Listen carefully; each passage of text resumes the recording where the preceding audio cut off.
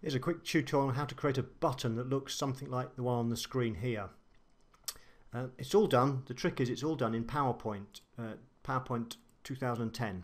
So what I did is I found another button that I wanted to use as a, as a, uh, a starting point.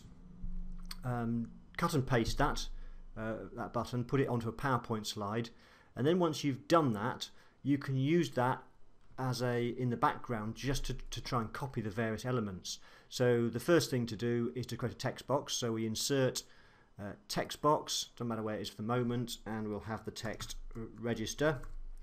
Um, change the, the font and the font size. Uh, for now I'll choose Arial, but you'll, you might want to choose something that's fairly similar to the one that you're trying to copy.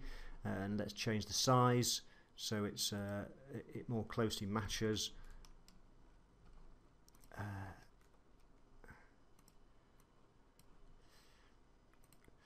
it wants to be in, in white. Um, let's just for the moment put it in, in grey. I'll change it to white in a bit. Um, and uh, let's uh, just increase the font size a little bit more. Okay, that will, we'll do. We'll go with that for now. Okay, then what we do is we want to select the te our text box, uh, click on Format, uh, at the top and we can first thing we want to do is give it a shading. So if we uh, do the shape fill um, I've got the AVN color already preset so we can select the uh, the color scheme for it. We can then change and edit the shape. So if we go to edit shape we can change it here to more of a lozenge shape.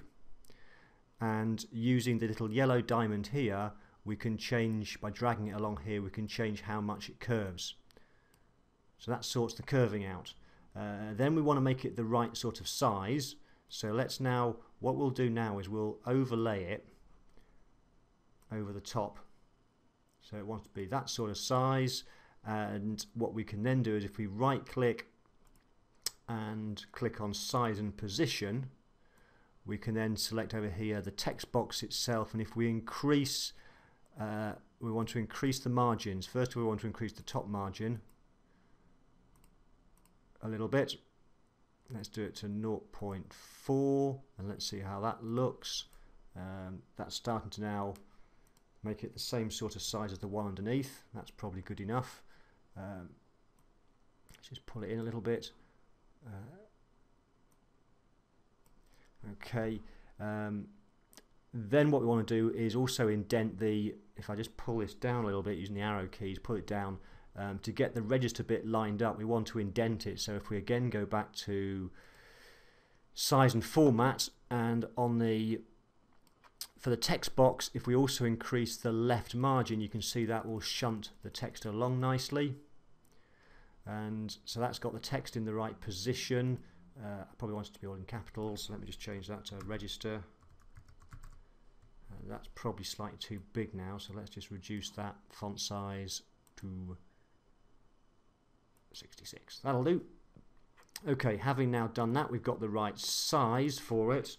Uh, what we now want to do is sort out the, uh, the circle and the arrow. So all we do for that is let's move this completely out of the way for the moment. What we do is we go to start a new shape. We're going to insert and from shapes we're going to select a circle up here and we just drag the circle over the top of, of here so it's roughly the same sort of shape and size. We can center it, line it all up. Uh, it's almost about there. Uh, not, not quite perfect, but it's close enough. And that'll do. If we then right click and select format the shape, we can give it no fill, make it a, a, a plain white one. So we can now uh, drag that shape onto here.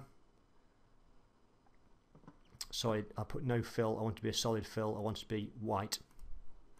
Okay, so we now have our white circle. Uh, to do the triangle, similar sort of thing. We now go and we start, let's close this down. We now insert uh, a new shape and we'll insert a triangle. And again, we want to use this as a get the size about right. To get the right orientation, we just use this green bit here to swivel it round.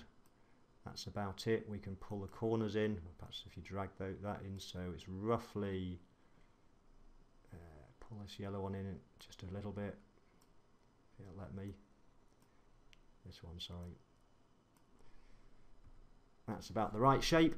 So um, what we'll then do is we will right click on there, format the shape and do the solid fill as AVN yellow. Okay, that's that done. So we can now move that shape down to there. Okay, I'm about happy with that. That'll about do. And then the last bit to do, which is then the easy fun bit, is if we go back to, oh, let's change this to white before I forget.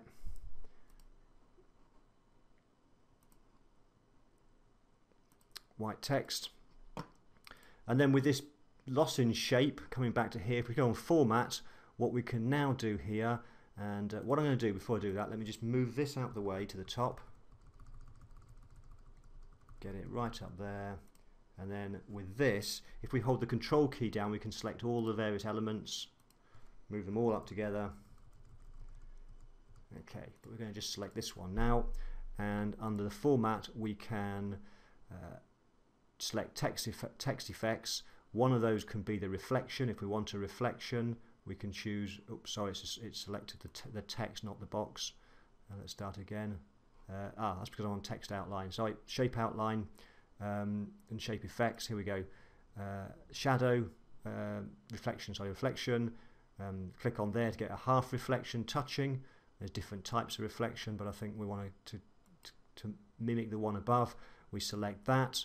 We also will want to select a, um, a bevel. So it's a fairly rounded one, so we could go with something like that perhaps. Um,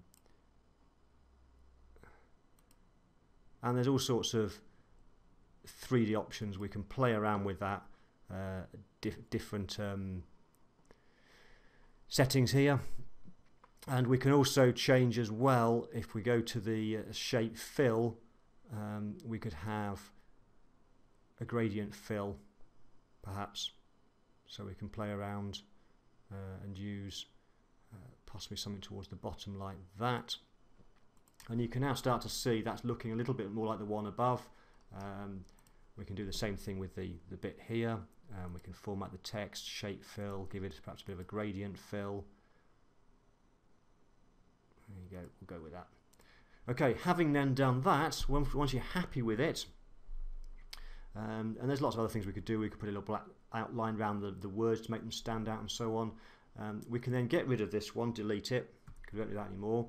So if we select any one of the any one of the elements and then click hold Control and A, that selects all of it, everything that you've created, all the bits. If we right click and select Group and group them, that groups into now just one image. So there's our image and then we right click on that image again select uh, start again start, right click on it.